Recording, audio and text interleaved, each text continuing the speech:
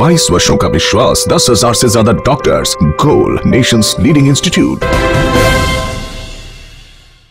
नमस्कार, आप देख रहे हैं सिटी पोस्ट लाइव और मैं हूँ आशुतोष। देश भर में चौथे चरण के चुनाव के लिए तैयारी जोरों पर है। बिहार में भी अगर बात करें तो चौथे चरण के पाँच लोकसभा सीटों में से तीन ऐसे हाई प्रोफ़ाइल लोकसभा सीट है, जहाँ पर चुनावी रंजिश कहें या चुनावी युद्ध जो कहें वो जोरों पर है और इनमें से तीन हाई प्रोफ़ाइल लोकसभा सीट है, मुंगेर, बेगूसराय और उजियारपुर।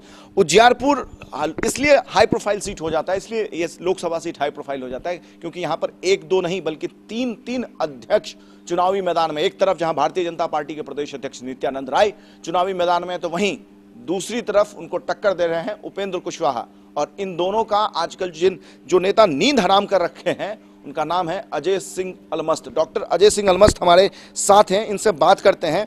ये अजय जी, अचानक चुनाव लड़ने का मूड मतलब मूड क्यों बनाया आपने? क्यों मन बना लिया? आप तो आप लोग तो एनडीए के साथ थे 2014 में तो 2019 में क्यों आपने अपना, अपनी पार्टी बना के चुनाव लड़ने का काम कर रहे हैं? खैर, जहाँ तक मेरे, मेरा पर्सनल सवाल है एनडीए के साथ तो मैं तो एनडीए का साथ नहीं था आपके सहयोगी अरुण हाँ हमारे सहयोगी जो है सो अरुण कुमार जो जहानाबाद के सांसद हैं वो एनडीए के साथ थे और उन्होंने ही पार्टी का निर्माण किया था जिसका राष्ट्रीय अध्यक्ष उपेंद्र कुशवाहा जी को बनाया था। परंतु जो उपेंद्र कुशवाहा के राजनीतिक विचार में फिसलन आई तो वो उनसे अलग हो गए और पुनः एक पार्टी का निर्माण उन्होंने किया जिसका राष्ट्रीय अध्यक्ष मैं हूँ। और मेरा चुनाव चिन्ह जो है सो ट्रक छाप है। मैं यहाँ से इसलिए चुनाव लड़ा कि सबसे महत्वपूर्ण से उम्मीदवार यहाँ अपने आप को समझते थे, भारतीय जनता पार्टी के अध्यक्ष, प्रदेश अध्यक्ष, जो यहाँ से के वर्तमान सांसद हैं।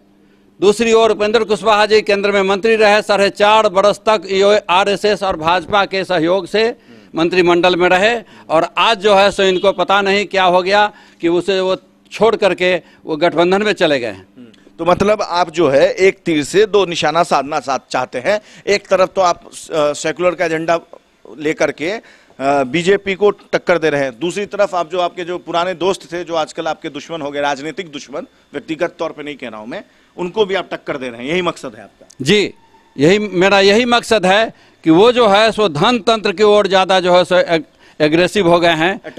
जी अट्रैक्टिव हो गए हैं। लोकतंत्र उनके दिमाग से निकल चुका है। क्योंकि आप आप ही लोगों के द्वारा जो चैनल पर देखने को मिलता था तो उसमें हमको लगा है क्या दो जगह से चुनाव लड़ने का क्या कारण है मैं नहीं जानता। क्या मुद्दा है आपके पास? किन मुद्दों के साथ जा रहे हैं आप उजियारपुर की जनता के बीच में? उजियारपुर के जनता के बीच में मेरा पहला मुद्दा शिक्षा में सुधार स्वास्थ्य में सुधार और किसान के बदहाली जो है यहाँ उससे उनको निजात दिलाने का है और चौमुखी उनका यहाँ के क्षेत्र के विकास के लिए मैं काम करूँगा। आप देखिए आपका बिहार में दूसरे कई सारे क्षेत्र में आपका अपनी आपकी पकड़ है। आप एक पुराने नेता हैं बिहार के। लेकिन उजियारपुर को ही क्यों चुना?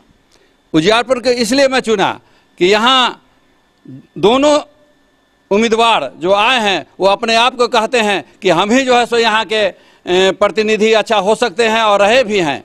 लेकिन इन दोनों ने कोई खास जो है सो प्रगति नहीं किया। जब शिक्षा मंत्री वो थे तो इस क्षेत्र में एक उनको कम से कम ये केंद्रीय विद्यालय खोलना चाहिए था, जो इन्होंने नहीं किया। जो अध्यक्ष हैं, यहाँ के वर्तमान सांसद है मुझे पाँच साल तक वो सांसद रहे, लेकिन यहाँ कभी भी दोबारा चुनाव के बाद घूमने का काम नहीं किया।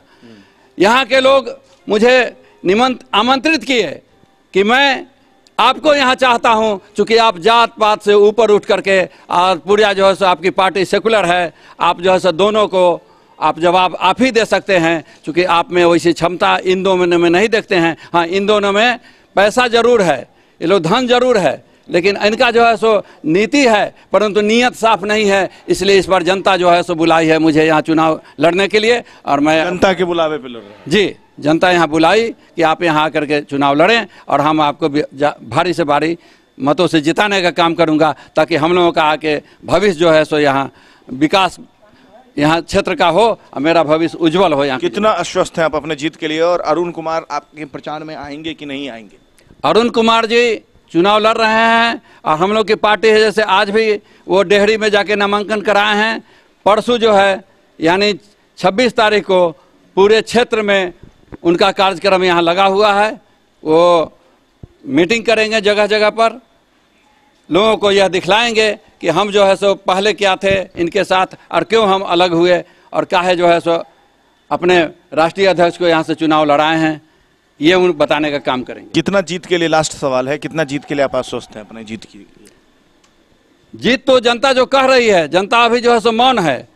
खुल करके सामने यहाँ की जनता आ नहीं रही है और कह रही है कि हम जो है सो आप निश्चिंत रहिए, भले ही आपका प्रचार प्रसार में उनके तरह नहीं है, परंतु वोट आपका है, आपके पिताजी भी यहाँ से तीन तीन बार सांसद रहे, लेकिन कभी उनके विषय में हम लोग को कोई कंप्लेन नहीं आया और उनका व्यक्तित्व का भी आप पर ज़रूर प्रभाव है और मैं आपको व्यक्तिगत रूप से जानता हूँ, आपके स्वभाव विचार को कि आप कैसे हैं, इसलिए जो है सो उन लोगों का जो आश्वासन मिला है इसलिए मुझे उम्मीद है कि, कि हर हालत में हम यहाँ से चुनाव जीतेंगे। देखिए ये थे अजय कुमार अलमस्त जी अजय सिंह अलमस्त डॉक्टर अजय अलमस्त का राजनीतिक बहुत पुराना इतिहास रहा है। और समाजवादी नेताओं में अगर बात करें बिहार में वर्तमान में जो समाजवादी नेताओं में है उनमें चुनिंदा नेताओं में इनका नाम आता है इनका दावा है कि ये दोनों ही अध्यक्ष को ये अध्यक्ष टक्कर देंगे और जनता उन दोनों अध्यक्ष को परास्त करके इनको संसद में पहुंचेगी। फ़िलहाल जनता जनार्दन होती है लोकतंत्र में और जो भी चुनाव परिणाम आएगा तेईस मई को, लेकिन लेकिन अजय कुमार अलमस्त, बीजेपी और महागठबंधन दोनों के लिए सिरदर्द ज़रूर बन गए हैं इस लोकसभा सीट के लिए। कैमरा सहयोगी कृष्णा के साथ Ashutosh, city post live, Ujiarpur.